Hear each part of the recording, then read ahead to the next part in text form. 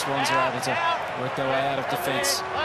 Fox found Papley, and his kick was aggressive through the middle.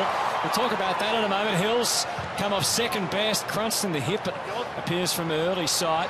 Rampe made his path to the foot. He had to back up from Lloyd, but the Saints through King, out to Sinclair, left foot kick to the goal square, and Gresham got away.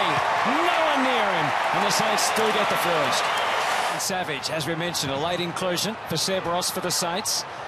Sets them up by driving wide. Clark just poked it forward. Oh, Coffield left it behind. An opening for Sam Reid. The hands were slick. And let's see if this can get things started. It can for the Swans. Papley has won.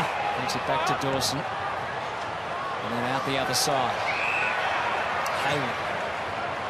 Up to half forward. Taylor takes the mark. Rajata settles on full forward as the destination for this one. And Blakey shows his athleticism and his marking prowess. Wilkie. Big numbers again, flying Membrey that time. Hine got her onto the left boot. And I tell you what, he's hit the spot. King it's going to be. Yeah. She's a nice block in the ruck there. Put it back for Steele. And now Hunter Clark intruding into the forward line with a sharp left foot that splits the middle perfectly. Saints go a fraction too fast for mine. He's got a free out of that high. He goes short to Steele, which just sets it up for Marshall, who just couldn't find him. He oh. super courageous, but he was just running into the worst possible spot. He's clean one up as well. Yeah, that was uh, as courageous a spoil as you would see. Aliir. Sinclair, Geary goes a second time. A bit more success. Gresham, the extra handball from Membrey back to battle. It's coming. It's coming. It's there. Last week we're kicking 12 goals. One will do. Not quite as accurate today. Marshall's missed a couple, but he's back in the ruck at the moment. Coffield sends the handball Billings' way, and again, dynamic out of the middle. Thumping kick goes all the way to the square. Oh. And at the back, Gresham read it beautifully. No whistle, and Butler's gone. Oh, the handball's back, and that just slowed the, the progress down a, a fraction, but they've controlled it pretty well. Now it's in dangerous hands. Hill misses the pass, but Sinclair good enough to reel it in. One more, Butler's going to take it himself, and why not? Can the Swans generate something? Taylor trying to do his best, but he handballs it straight to Coffield. And suddenly everything swings the other way. Steele. Swans hadn't really got defensively out of kilter, but King still takes the mark anyway. Paton, I guess, one of them, and also Coffield and Clark getting regular games now for the Saints, which is great to see for their future. Gray sends it Papley's way, hasn't seen a lot of it so far. Off to Florent, they need a bounce to go their way, and it does. End on end, they slide one home just on the bell. He looks up, does Rowan Marshall, thumps it up along the wing, it's directed at home. Great kick. Great kick and outstanding run into position. And Parker with the slider. Not many ruckmen could kick the ball like Rowan Marshall just then. Probably three or four in the competition could do that. There's not many big guys like Rowan Marshall, is there? Paton deep, here he is.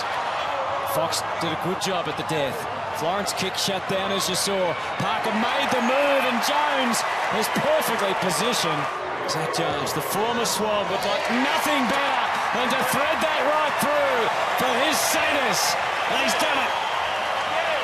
We just saw after the Zach Jones goal a couple of minutes ago, and Jake Carlisle paid particular attention to Dane Rampe's broken hand in this little fracas. I just see left of screen there. He's gone after that, something the AFL aren't overly fond of these days. Battle, Billings. Hind v Ling.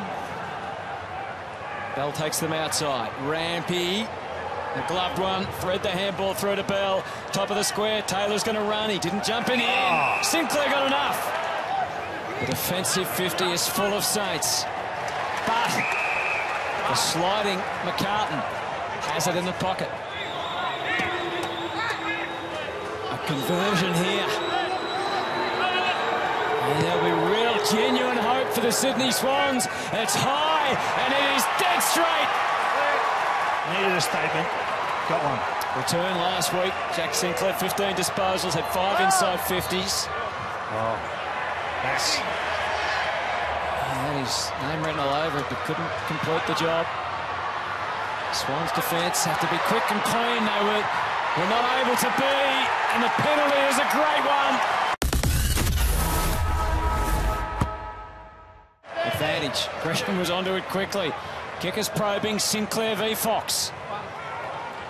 Still there. Hine slapped it back. Oh, Membrey missed his chance that time. Battle. A losing battle it was that time. But, oh, Butler, as he does so often, pops up and kicks a goal. with Gresham trying to act not interested here. He hasn't fooled you. Oh, King. That was all a little easy. Geary popped it over and he's put it through. So the Swans need to dig in here. Wing did his best. Marshall hacks it forward. It's back in front of goal again. Ryder looking to dish it. Hine, those legs are pumping again. And he's put that one through for his third. Takes on the kick. Don't regret it now. Clark casually found Jones in plenty of space. Hit the ground, but great chase from Ling. Was it in the back? We've seen a lot of those paid of late. Not this time. Jones kept on coming. Off to Geary. Just space to get a kick and get a goal if you don't mind for the skip. Three score involvements. He's enjoyed himself against his old team. Gray wobbles the ball forward. Rare opportunity in this last quarter for the Swans forwards to get a good look at it. Parker thumped it and it lands in the hands of McCartin. This poses so many questions for the opposition if they can't match this speed. Steele pumps it high for King v Rampe again. Rampe always recovers so quickly, but the door was still ajar. King's going to kick his third. Personal best for Max. Good one, Max.